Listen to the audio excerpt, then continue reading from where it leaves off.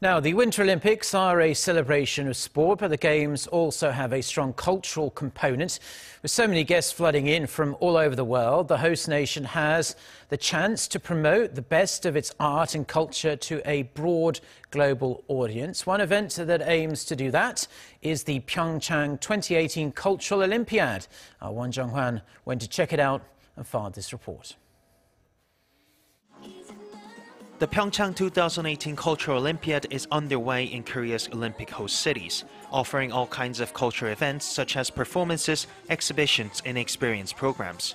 One of the most highly anticipated events is the K-pop World Festa, which will be held every weekend throughout the Olympic period.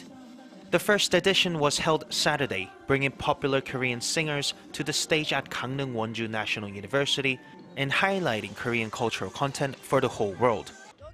We came here because this is our school. It's really fun and exciting.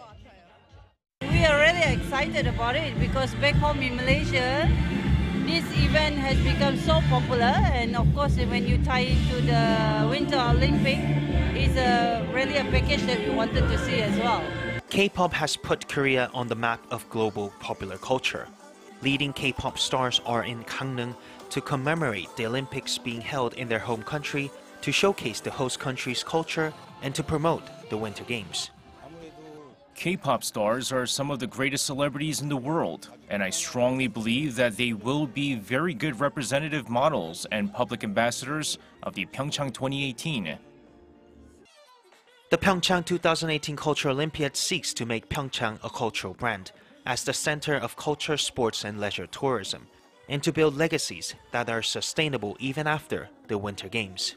Here at the K-pop World Festa, visitors can feel the heat and enthusiasm of the Pyeongchang 2018's Cultural Olympiad every Saturday until the day before of the closing ceremony. Won Jung-hwan, Arirang News, Gangneung.